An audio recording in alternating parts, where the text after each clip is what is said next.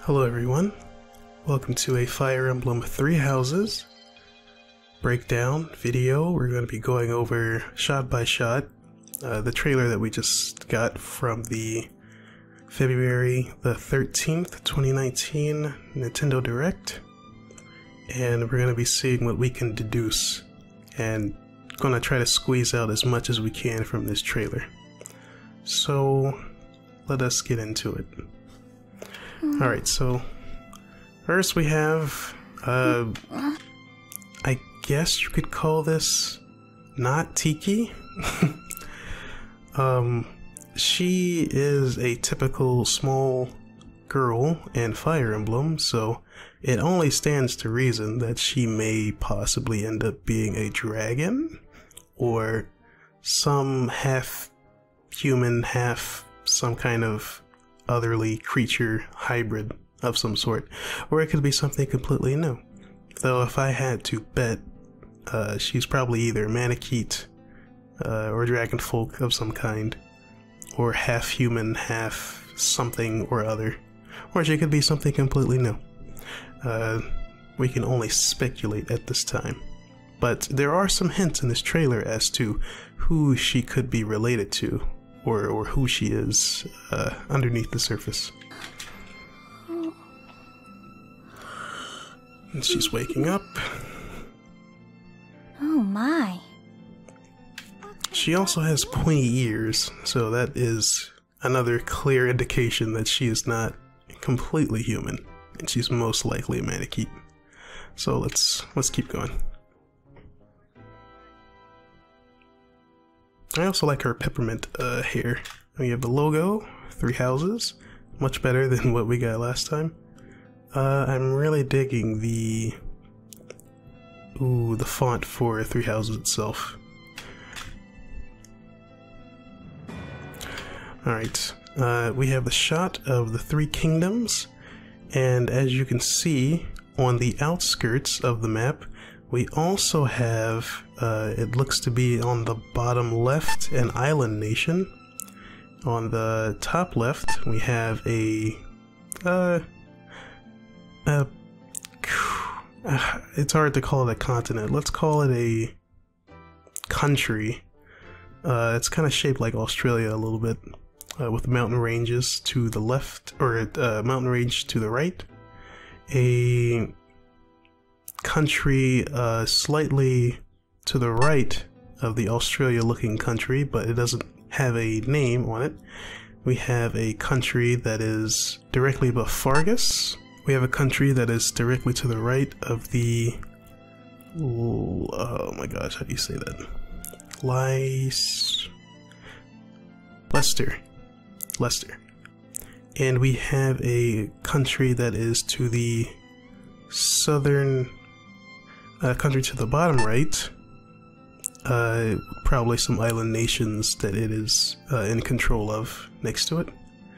And we have the main continent of Forbin. The continent of Fodlan. And we also have the main continent of Fodlan. goddess, has existed since time immemorial. Three ruling powers now control the land. In the south lies a region long held by a more than 1,000 year old dynasty, the Adrestian Empire. Beyond its borders, to the frigid north, is the home of the Holy Kingdom of Faerghus, ruled by the royal family and its knights. To the east, a league of Pause right here for a second.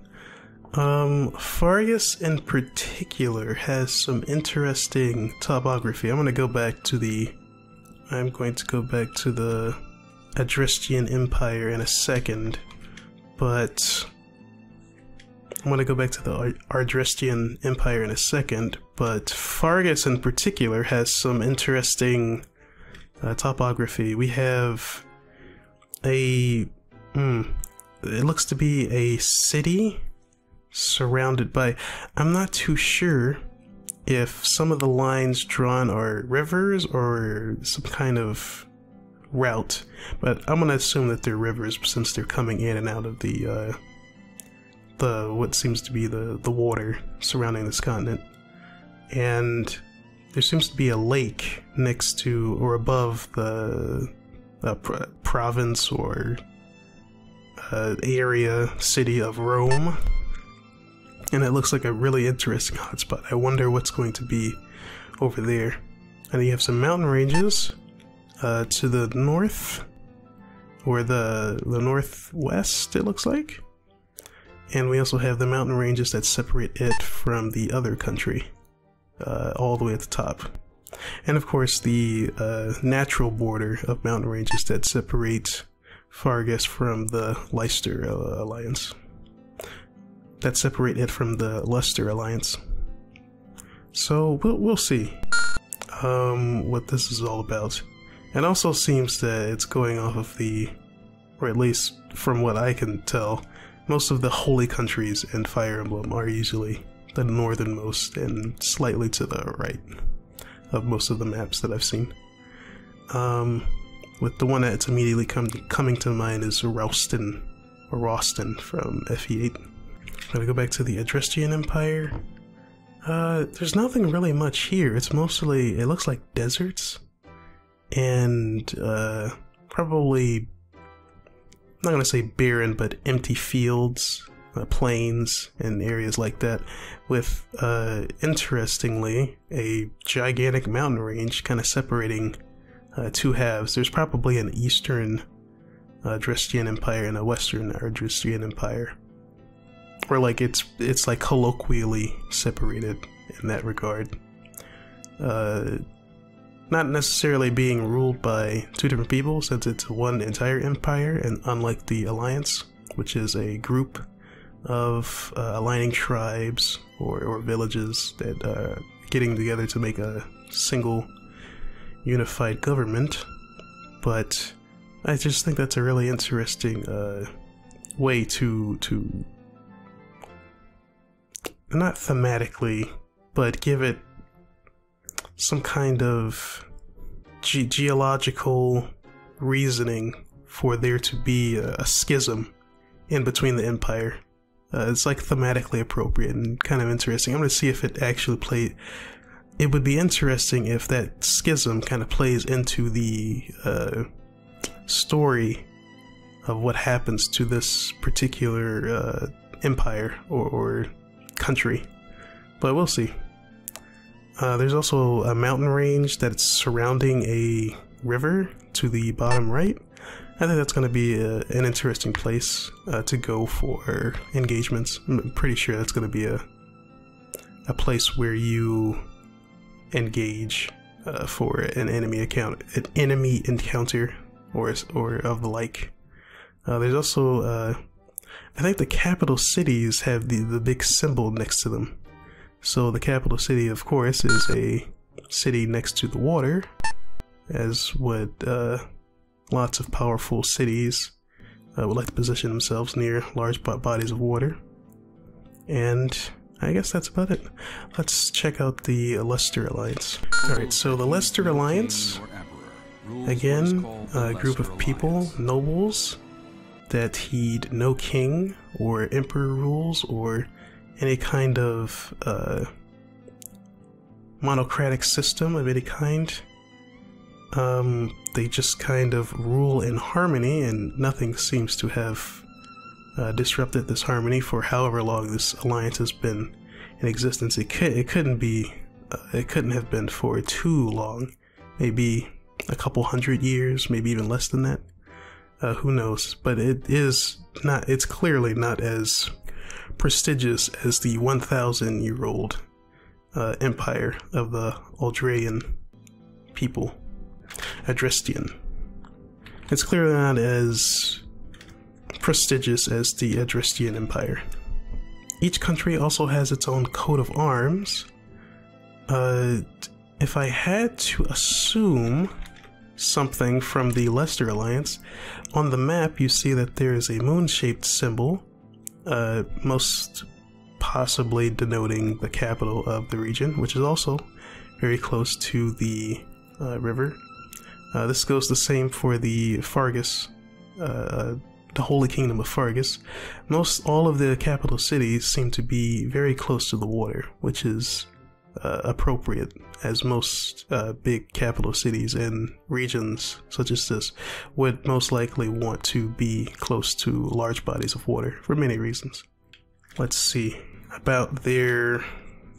I completely forgot to go over their coat of arms, so let's do that now as well.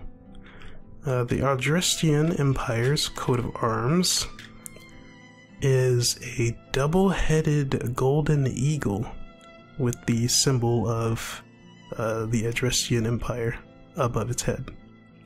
Uh, I do not know what this could signify or be. It's some kind of. I shouldn't say eagle, it's some kind of raptor. Or bird of prey in general. Maybe a falcon, maybe. I would have to. I don't know what kind of bird of prey that this is, but if I can find some kind of information, I'll have it up on screen. Uh, but yes, they have a pretty standard uh, shield for their coat of arms, and the insignia of their uh, their insignia of their creature, and the symbol of their patron creature with their symbol in the background. With the colors of red and gold being of particular interest since they are the most uh, prestigious, red being kind of a solid color for uh, royalty, uh, next to purple, of course. Faerghus, uh, having its coat of arms, uh, the base color is uh, darker blue with these two lighter blue edgings on the shield. we also have the symbol of the kingdom of Faerghus below the what appears to be a hippogriff, uh, a soldier riding a hippogriff. Uh, I do not know if the hippogriff is supposed to represent something um, from its classic Greek heritage uh, as a Greek mythological creature. Uh, in my experience, the hippogriff isn't necessarily always uh, associated with holy or divine uh, ideas, ideologies, people. But I don't know, maybe that's it's pointing towards something more interesting. We'll have to find out. And the Leicester Alliance is you have a picture of a knight's helmet directly in the middle. Uh, the top left is the symbol of the moon with uh, some interesting decals on it. The top right are three symbols going down uh, on a lighter yellow side, and on the kind of uh, murky mustard mustard yellow side, we have another symbol, uh, probably of uh, one of the house's coat of arms, or, or symbols that you would put on top of their coat of arms. The bottom right is what seems to be a cloaked figure. I can't really make out what it is. And on the bottom left, we have a person holding what appears to be a an insignia for the sun, possibly, or maybe it's an insignia for the uh, a tool that you use to measure the sky in some way.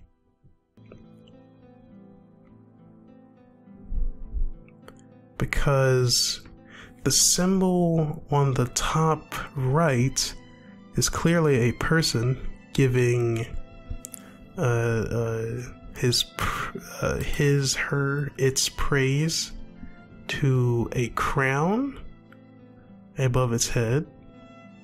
And the person to the bottom left is holding a sun shaped symbol or maybe a device that measures uh, uh, some kind of either astrological or just geological phenomena. Maybe a compass.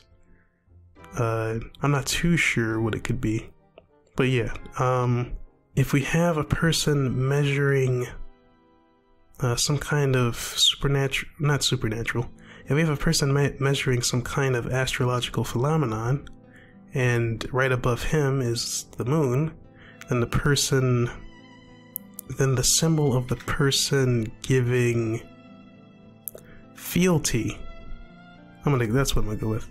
Then the symbol of the person giving its fealty to that crown could be. I don't really know what that could be actually. And it also looks like he's surrounded by two other creatures. It looks like they're horses, possibly? This is a really interesting coat of arms, and I think there's a lot to dissect here. Uh, but yeah, that's about it. So the Leicester Alliance seem to seems to just be four groups of people with different uh, coats of arms, maybe even different ideologies that are all working in harmony.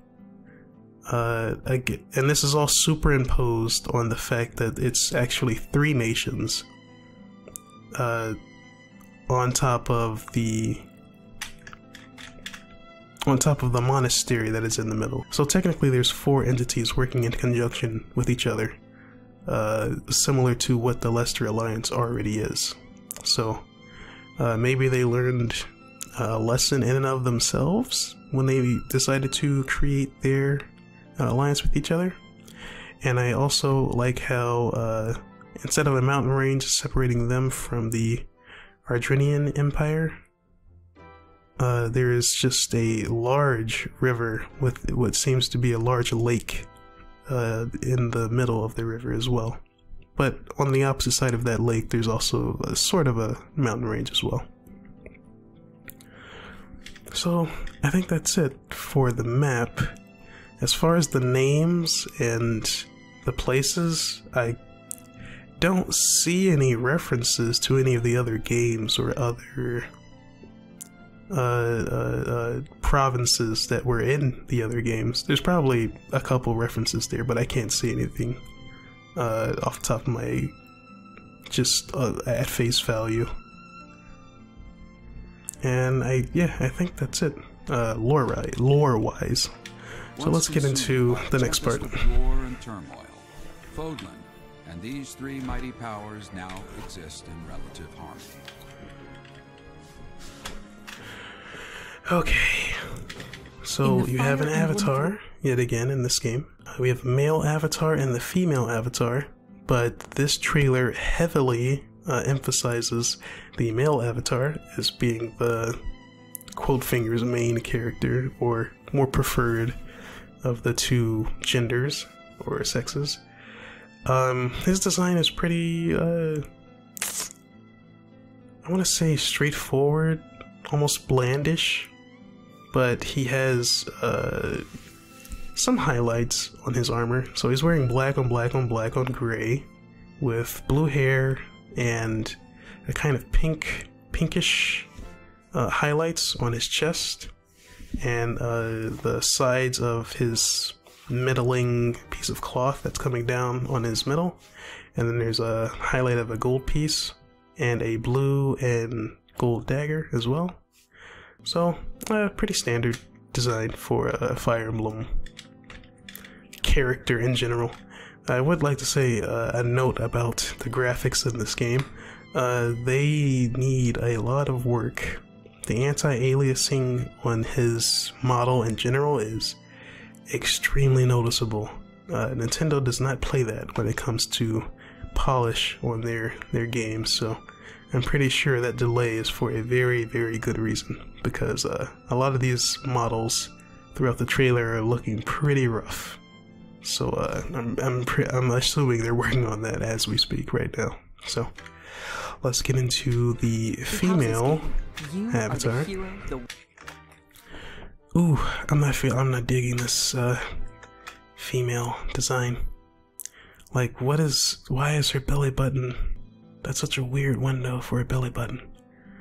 Uh, I kind of like the arm guards and how it has a, a little a fulcrum for bending her elbow.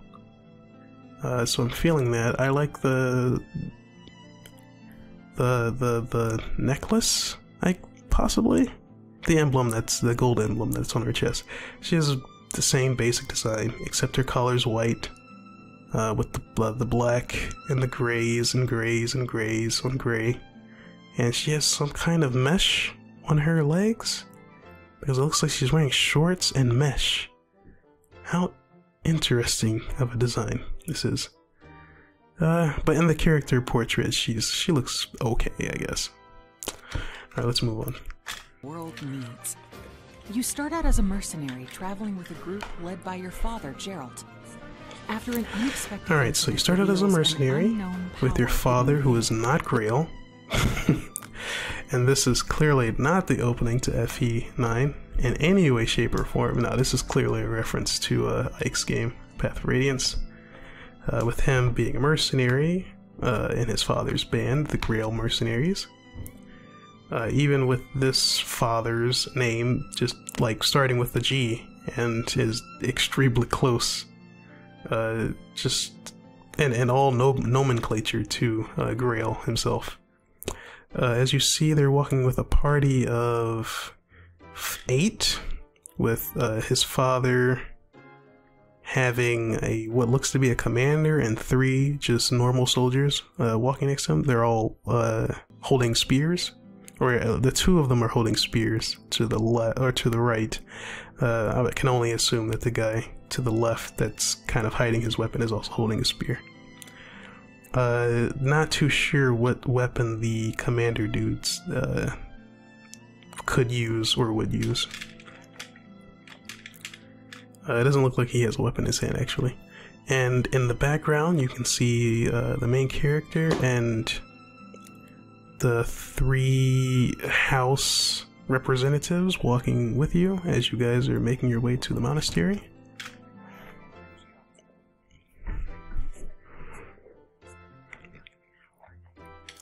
Uh, we get our first shot of Garreg Monastery, Mock where you'll receive Monastery? an to teach at the Officers Academy. Uh, it's pretty. I just, yeah, I'm into it. I I like the design of this uh this whole area in general. Another shot of people going as you enter the castle. Uh, I don't know which part of the castle this would be at, uh, but there's nothing of particular note so far. a shot of them looking up at the castle itself, and it just kind of fades to white here. Around that same time, you alone begin to see a mistake. And take note of this uh, you being frozen in place with these kind of uh, really, really. Uh, you yourself are washed out, but you're highlighted by this glow. Uh, the first glow is green, and the next glow is going to be purple later on in the trailer. And it's just you talking to Sothis. Sothis, who appears within your mind. who is a very interesting voice actress. Alright, now we get to the monastery and the three houses. Monastery lies at the center of three large territories. It is the home base of the Church of Another shot of the castle. the main religion of Fodlan, as well as the Knights. Alright, so the interesting thing to note about uh, the Church of Seiros, in particular their patron uh, saint, the woman has the same crest as the little girl that we saw earlier, Sothis. She has the same crest on her forehead as the uh, Sothis character we saw earlier, so clearly they are not just tangentially related. Uh, there's probably some direct correlation uh, to how they either know each other, are they related uh, by blood, or is it a family line, or is she also a dragon person? Uh, it's hard to say.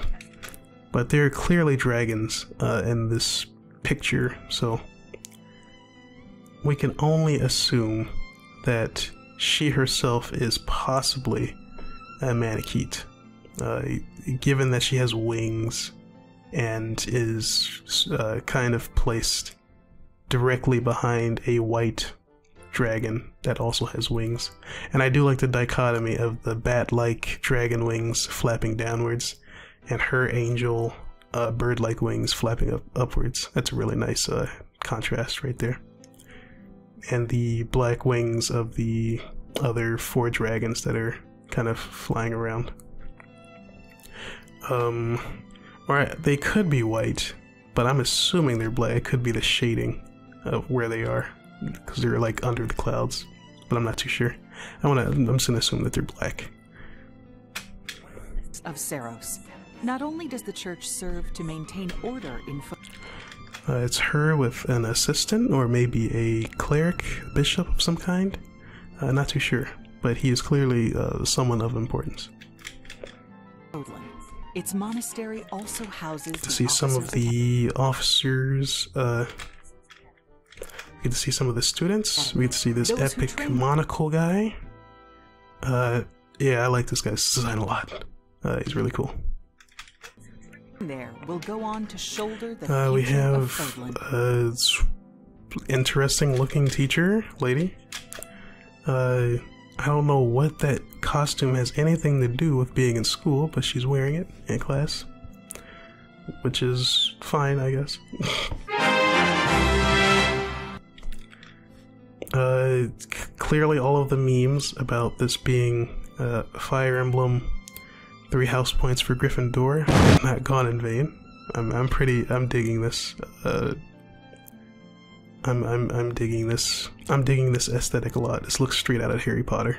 I'm into this. Uh, also, notice on the backs of the students, some of the students have this double arrow design going down, and other students have this uh, layered, kind of scaly looking design going kind of down their backs.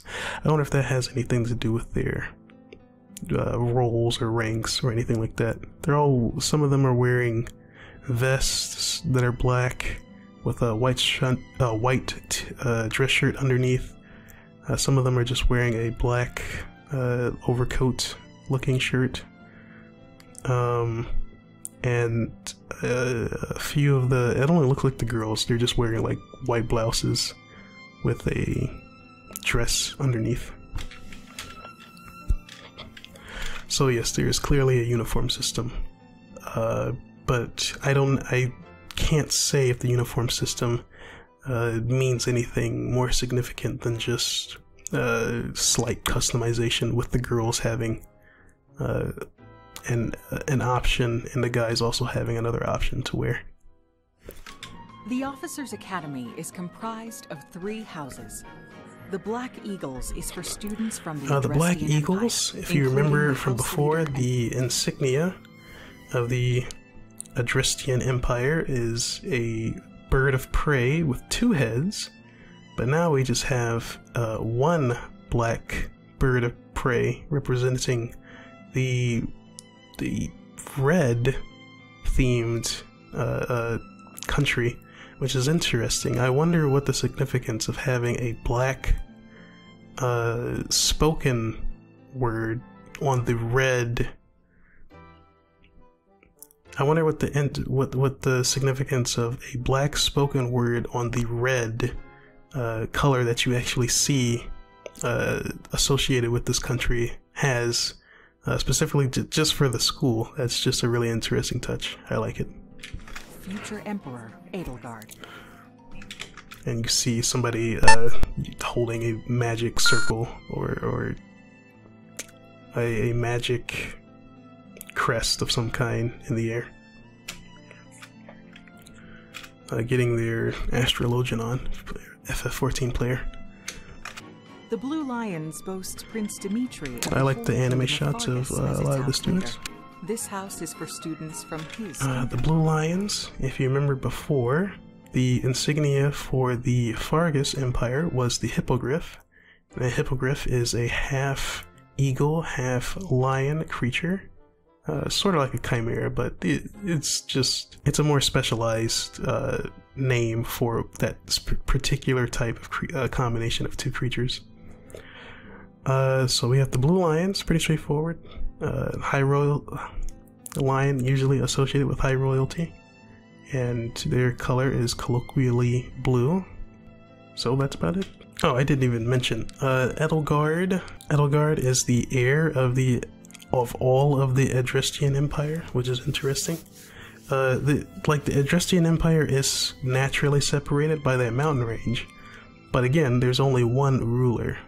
So I wonder if that's going to play a part in how the country is uh, how people see each other in general, or how people interact with each other, or or talk about each other, or interact with each other, or how the other countries see the Adrestian Empire uh, as a whole. Because it could easily be two empires, but they choose to be as one. So I think that's a pretty interesting uh, thing to take into consideration. This the geography that they've laid out and the topography for uh, the map in general is telling a story in and of itself. But we'll see if they, they actually follow through with any of this uh, foreshadowing. Uh, has a really nice design. Uh, black, red, white, with the purple, or I'm sorry, lavender highlights in her eyes and uh, her ribbons in her hair. Uh, I like it. I like the design a lot. Uh, Dimitri, blonde hair, blue eyed, uh, just atypical European looking guy. Uh, I like his armor though. His armor looks really cool, especially the shoulder pads, or the uh, not the shoulder pads, the thing that's not the thing resting on top, the thing that's like it looks kind of like dragon scaly. It's like protecting the outer parts of his shoulders. That looks really cool. The Golden Deer is for students from the Leicester Alliance. Their house leader is Claude. Alright, the, the Leicester Alliance, we have Cloud. And Cloud is looking very Native American ish, uh, North and South America. Uh, the older Fire Emblem games, we had the Sacae tribe for Fire Emblem 6 and 7, and they were clearly uh, Native American inspired. And I think uh, he may be also bar- borrowing a lot from uh, that culture in general, especially with the uh, with the patron house uh, creature being a golden deer, something that is also associated with uh, Native American tribes and cultures. Uh, golden deer with gigantic antlers. Uh, nothing much to say about that. I can't deride anything from it at face value. Uh, but interesting. Interesting design. Uh, earring. I like. I'm. I really dig the. Uh, I really dig the Obi Wan Kenobi slash Anakin Skywalker. Uh, single tassel of hair, braided hair that's coming down. Usually representative of someone, a man that is, or a boy that is in training to become a man. Alright, let's move on from here.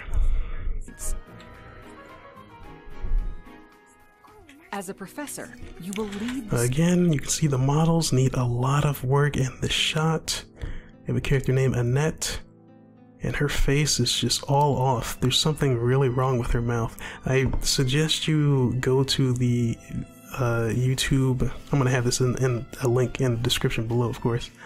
But you should totally go to the Nintendo uh, homepage for this video on YouTube and look at the Fire Emblem Three Houses Nintendo Direct 213 2019 Nintendo Switch uh, video. Turn up your, if you can, I don't know what your internet's going to be looking like, uh, but if you can, turn it up to 1280p and just check out these models, or I'm sorry, uh, 1080p HD and check out uh, the finer details on this mod on these models because in this video you you won't be able to see it because um, it's going to be compressed uh, pretty heavily for me to get this up. So uh, please go and look at it for yourself to see what I mean. It's pretty bad, and I'm I'm happy that they're going to take some time off to work on uh, just things like this. I don't know what they're working on structurally uh, else in the game, but this is pretty obvious uh, to even people of the untrained eye. One of these houses Oof, and uh, some pretty strange frame drops as well. I'm not a stickler for frame, for frame dropping or having good frames. As long as it's like 60 FPS, I'm not really. Uh, I don't really take too much issue with it. There are many other students to meet, each with their own unique personalities and skills. Uh, yeah, Raphael. That's a really interesting outfit he has got going on, and he needs a bigger shirt. He's about to freaking Major Armstrong out that shirt in like half a second. Watch out for this dude.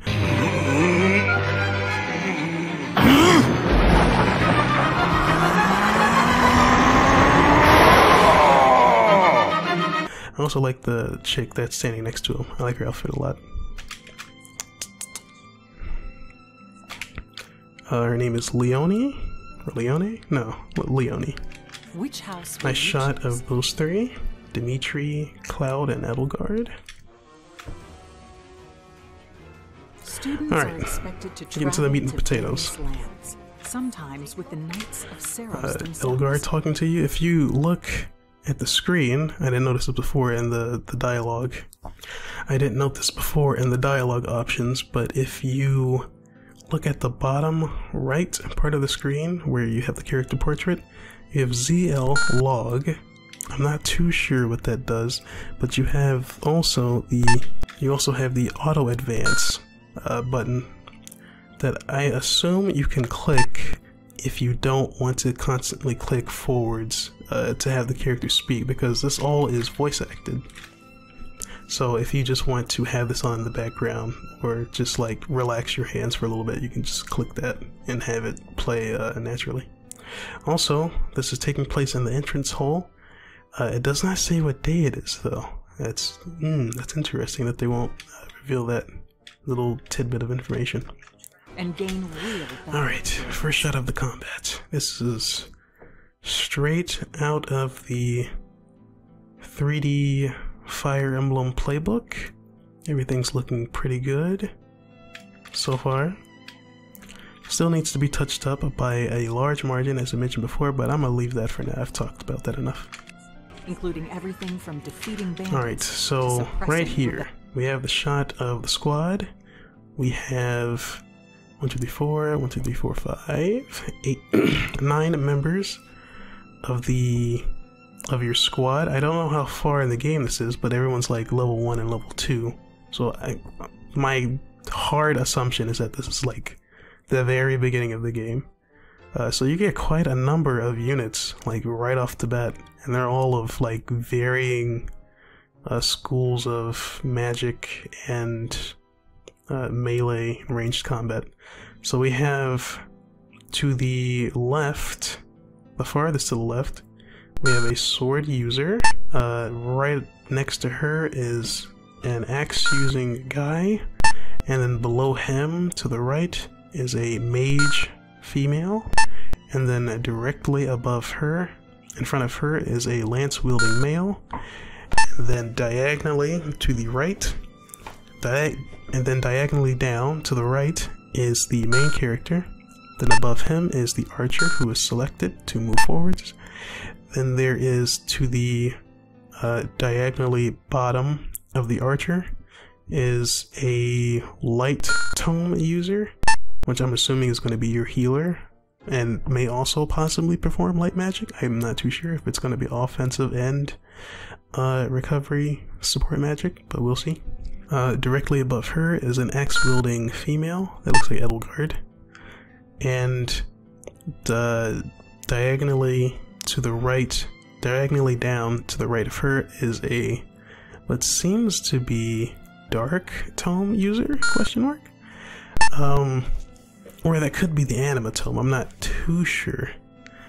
Because there's the light tome is just a white book and the black tome could be dark magic but it could also be anima magic and he could have the dark tome. But i'm not too sure. If i had to assume though i'm gonna take it back. The dark tome that the uh, chick in the bottom left the bottom left mage i'm gonna call that dark magic. The white book is clearly white magic. Recovery uh, heal staves. The staves are now just white books now. And uh, the guy with the triangle, the bar, the guy with the white book with the big triangle, and then a rectangle, and then a triangle above. I'm gonna call that anima magic, uh, more or less. It, it seems to be a little bit more dynamic to be just called uh, dark magic. All right, so Archer, she walks up two squares and one square to the right, right above the axe user. And right here, we get to see uh, your actions as a base character. So you have attack, items, trade, and weight. We all know what those do. But uh, two things to note are we have two other actions, arts and gambit, we've never had before. I'm assuming arts are going to be your special moves that you uh, that you could have access to, uh, that you train up in in the schools and uh, and that are to your class type. And then you have gambit, and gambit is a type of. Uh, it's kind of vague what it does, but from what I can see, it is a type of. Uh, it is a type of team attack slash manipulation of formation, uh, like super move attack, or just a a burst mechanic where either the formation or just you being in range of other people uh, may trigger a large scale attack of the units that you have uh, that you don't actually see on your units on the uh, you have your sprites that just appear on the map and then you have your sprites that appear in battle animations.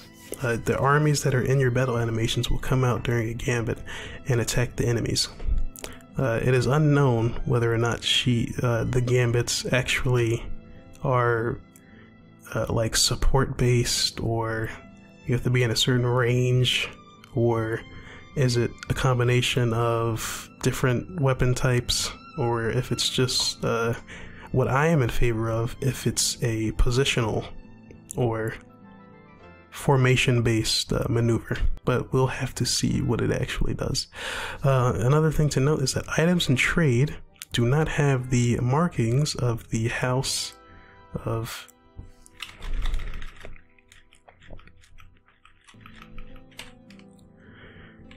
Adrestrian. Adrestian.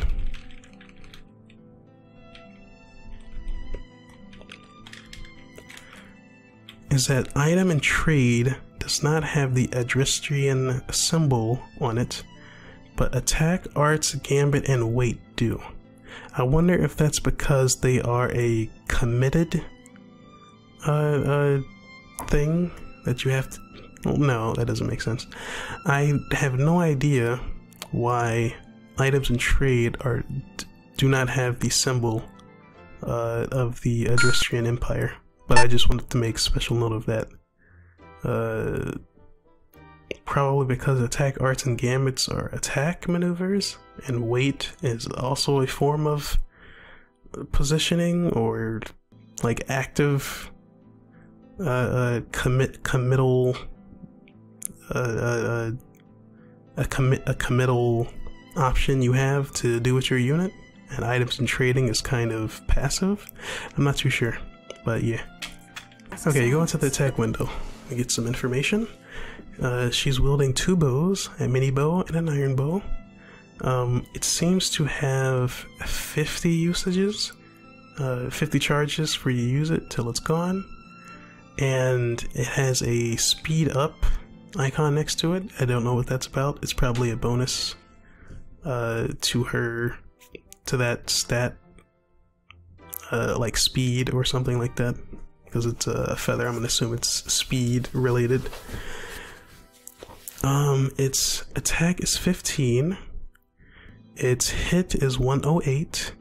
Its critical is 6. I do not know what AS could stand for.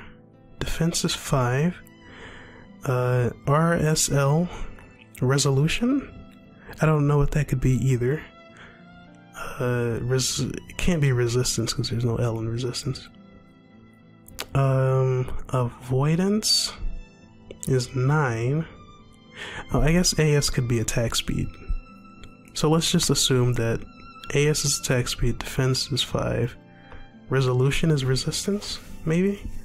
Uh, that would make sense because, like, the theming is that you're in a, a, a monarch, uh, a monastery. So resolution, if that's what that means, could be uh, the resistance. And avoidance is nine, so your base dodging power, and your range is two. Does that say? I wonder if range will say 1 to 2 if you were wielding like a javelin, and uh well no, it has to say 1 to 2 because uh, it looks like archers are going to be stuck shooting at just 2 range, not 1 to 2. So rip that dream. Uh, she's level 2. She is of the Adrestian Empire, has that icon uh, right above her noble uh, sprite. Have uh, her name, Bernadetta. Bernadetta. And the icon of the three triangles that kind of look like a green triforce. I have no idea what that's about. Uh, and you're also on flatland terrain, which gives no bonuses, but it looks like uh, Ed Edda is standing in a forest patch, so that may give her a little bonus. Um, and let's see what happens next. The stakes in each battle are. Uh, we see that the little reticles that are in front or uh, behind, like they're the, the reticle that's facing behind your unit at all times, uh, whether they're facing forwards or backwards, uh, that should be their HP bar. So you have like a general, uh, so you have like a general other way of telling what the HP is. Uh, they're giving us a lot of ways of telling uh, what is what just by like glancing at it. Uh, I'm a player that doesn't. Uh, I kind of play by intuition sometimes. Uh, if I know that I'm not in too much danger after checking like basic stats for most of the enemies on, on screen. And if I'm not too worried, I just kind of like eyeball it and and see uh, where the numbers take me, and that's and not worry too much about calculation. And this kind of feeds into that notion of people who are kind of casually just glancing at uh, what's going on on screen without paying too much attention to like the actual hard numbers, which I think is a fine uh, choice to make. Uh, more UI decision, more UI choices, or more UI more UI presence of what's going on stat wise. Uh, we have Bernadetta, name, and right above her name, I'm assuming is her weapon ranks or skill ranks, possibly. I do not know what the fire symbol, fiery person, a person on fire symbol could stand for. Maybe it's to indicate that she's on the attack, offensive attack. Uh, you can also go into combat arts straight from the attack window. So you could either click the combat arts to go straight into the combat art, or you can press attack and then press ZR or ZL to go into to cycle through another combat art. Uh, you also have X and Y, which also could denote, uh, denotate just uh, normal attacking with your bow or whatever weapon that you have. She has an uh, iron bow. Um, that guy does not have the green arrow icon next to his portrait, so I do not know again what that means. Because I would assume that it would mean that you have a party behind you in the attack animation uh, uh, sequence, but he also has sort of kind of an army uh, in his background. I wonder if it's like just a raw bonus to stats or resolve or something like that. Uh, and she has 10 might, 10 hit, 2 crit. Uh, and his class is a thief with an iron axe. So let's see. Uh, also, barely caught this. When she switches to curve shot, her attack range actually goes from just 2 range to 2 to 3 range. So she has the attack range of a bow uh, when she uses this attack.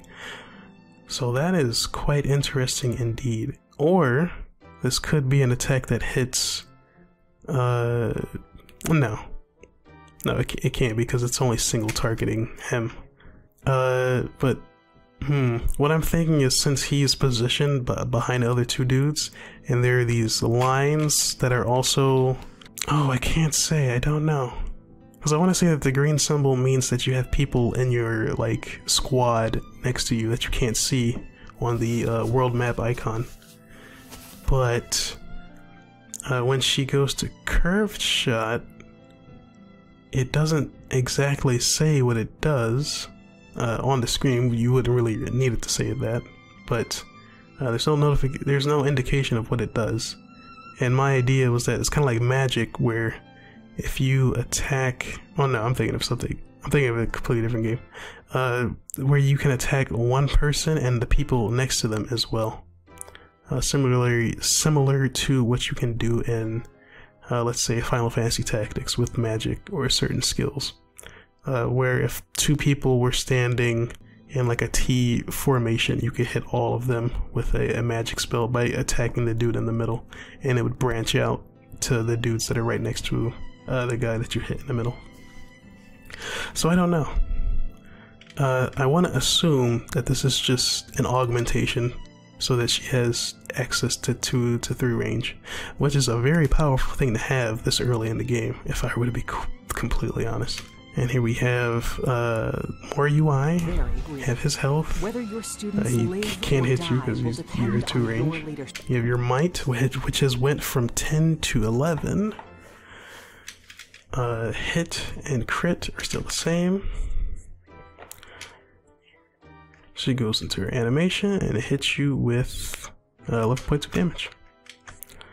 Alright, and then we have this chick. Strategize as the battle progresses to claim victory. Then we have Petra coming right after her. And she's attacking uh, possibly a mercenary. Uh, just guy using Iron Sword. Um, he has 8 might, 86 crit. And my first mind is that, oh no, they're going to show a unit getting hit in the trailer. It's kind of funny. Uh, but of course, no, she actually has 100% crit rate somehow and 8 might. So this guy is about to get deleted. Rip my man. And critical, uh, she had 8 might and her critical did 24, so criticals are now doing uh, times 3 damage as usual. Sometimes criticals uh, did times 2 damage, but in this game they do times 3, which is nice.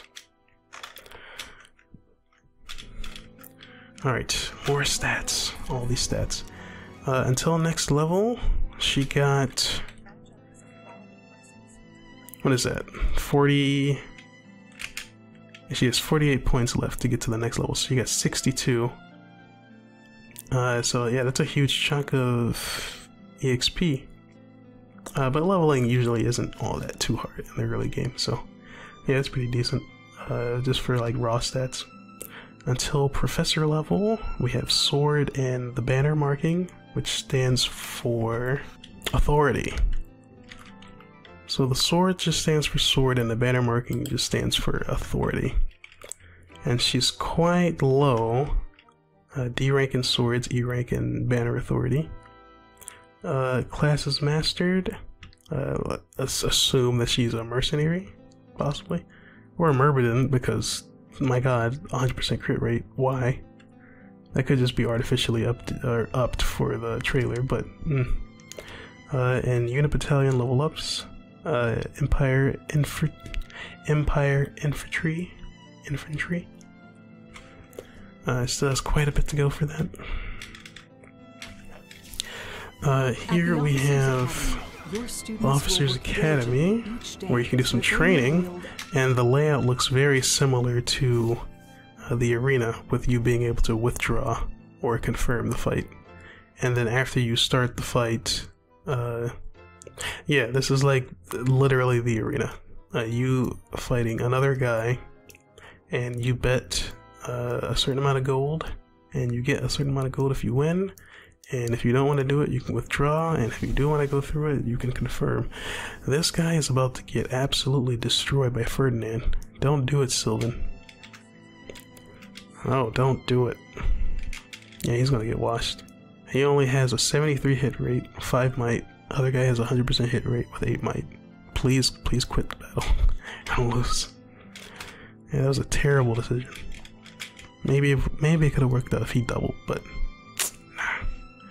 uh, okay, begin lesson plan. So you have that reticle at the top, green bar, no idea what that does. Uh, the, but the green button, no idea what that does. Uh, tutoring, auto tutor, group task, set goals, start class. Uh, tutoring and auto tutor just seems like things, uh, lesson plans you give to your units so that they can learn uh, certain job actions. Group task, maybe you train more than one at the same time. Uh, set goals, I have. I'm assuming that's where you uh, set up what what what uh, school it is that they're learning from at the time. So you set the like, let's say you had you want them to learn lances. You go to set goal, and I'm assuming that's where you would go to pick lance for their uh, uh, job, uh, profession, or whatever it is that their their class gives them, and then you tutor them there to boost its exp. And auto tutor, hmm, I don't maybe it's a cyclical thing where you don't have to engage as much because I don't know what tutoring actually does. Uh, we're not really shown what it does besides you do it to uh, improve their abilities in that way. Group task, I'm assuming you uh, either assign them more than one goal or you're training or tutoring more than one uh, student. But we'll have to just see how that plays out. And then start class is, uh, I'm assuming, like general lesson plan for all of your units at the same time but not the same as group task, I guess. Uh, Dorothea, Dorothea. Master the study of magic. She is studying. And it looks like black and anima magic or dark and anima magic. And she was also studying light magic or healing. Uh, she yeah, she has a D in the anima magics and an E in the light magic and there's an icon for a uh, hand pointing up and arrows pointing up. No idea what that's for. Uh, but uh, so her sword is an E plus, but everything else is just a normal E. So I don't really know what that's all about. Hmm.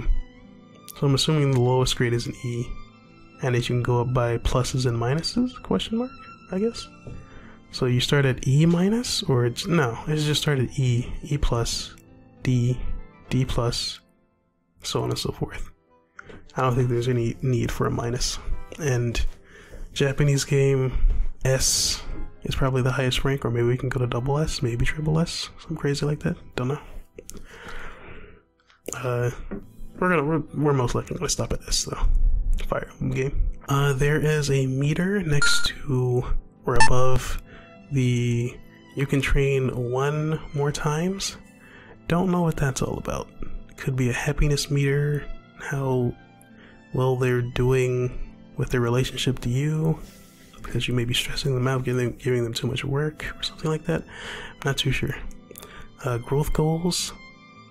Yeah, you see, you got the goal being sword and reason focus, so you can train that, I guess, uh, is what she's going to be training next, and what you already gave her uh, had already assigned her was Reason, which is probably her anima magic uh, abilities.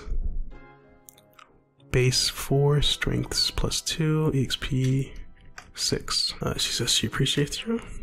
And yeah, I, I guess you get skills.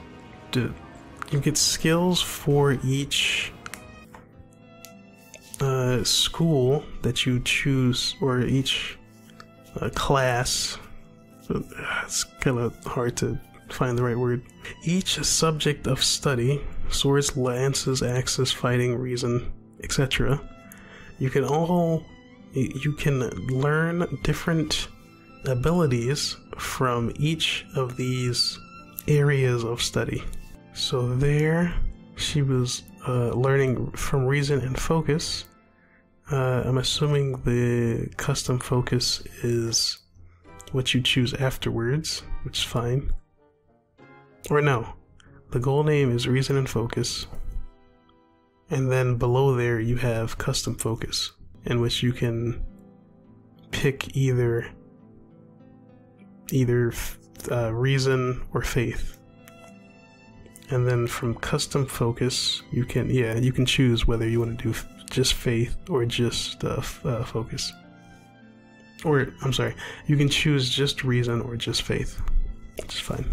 And her happiness meter bar seems to be completely full, so she's putting in work.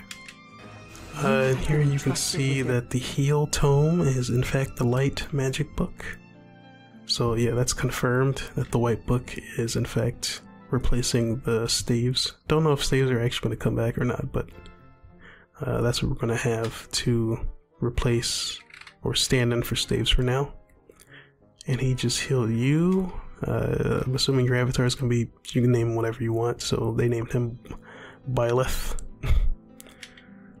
in this particular playthrough, he healed you by 11. It's not too bad. Uh, we have Caspar showing off hand to hand combat as a Fire Emblem first. We have Monks as a uh, job class that you can use to body people and destroy them with your fist. Uh, though you're still using uh, weapons, uh, sort of, kind of, uh, using gauntlets to augment your punches, which is fine. Um, he has a might of seven, but you have the times two reticle, and when you get brave weapons, it will be the glorious times four. I wonder if it'll change color, if it'll just be times four. Hmm, that'd be interesting. Uh, his hit is 100, crit is 11. Uh, the church soldier seems to be a mage type. Fire, hit 79, might 9. Hone their And hit you with the. Through combat experience and study, Okay. you can help your We have some of the students cla- oh, yeah, here you go. Potential. You have the classes, and each class has its own, like, small uh, sprite to go along with it. So you have the Mercenary, Thief, Knight, Cavalier, Brigand, Archer, Mage, and Priest. And I'm assuming that you can go farther down this list. Because I would. I'm assuming we're missing another magic type class, and we're missing the, the new monk class. Uh, maybe we also have access to just spearmen that aren't knights? I'm not too sure. Uh, here we have the exam contents. She wants to ace the Brigand exam, fights with an axe, and is exceptionally hardy. Uh, exam skills 6C or higher. Required items intermediate seal. And she passed. potential. Though I don't know the consequences of it. Look at this Dragon Quest 11 looking food. Really like any cell shaded RPG of like the last 10 or so years. I'm getting some heavy Tales of vibes. Tales of Symphonia, Vesperia, and all that. Your students can also hmm. interact with each other at the Mm-mm-mm. academy.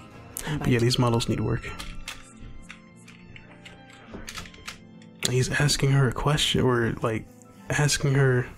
uh, My man's is up here just talking to the chick, and she's just like staring straight ahead. Kind of spooky looking. Let's go look at the NPCs in the background. Just, I'm assuming the teacher is just grubbing out. It's fine. Ooh, okay, so here we have an interesting shot of the support each other on the battlefield. the gambit boost mechanic. And the formation that is used when it is activated is a Y-shaped pose uh, with the Y facing diagonally diagonally diagonally to the left. And it's not clear on who activates it though. And then you're fighting this uh, creature.